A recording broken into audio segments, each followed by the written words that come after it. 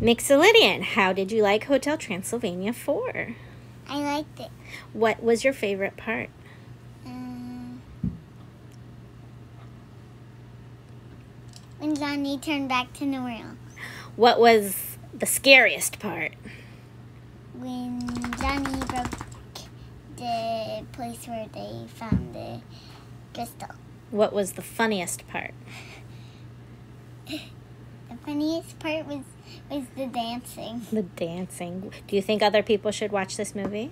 Yeah. Yeah? Do you think kids would like it? No. Kids don't like this movie? If I don't like it, kids don't like it. You didn't like this movie?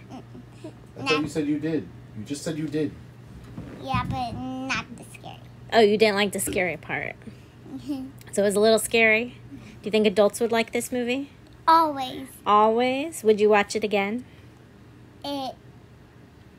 Yeah, only when I'm ten. When you're 10 because it was still too scary? Yeah, okay. Can you tell me what happened in the movie?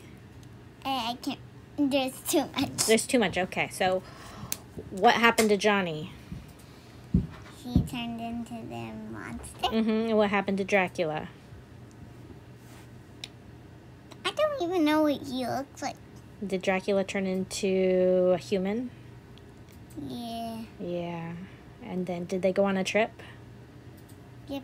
Yeah. And then did it have a happy ending or sad ending? Happy. Happy ending. All right. Thanks, baby.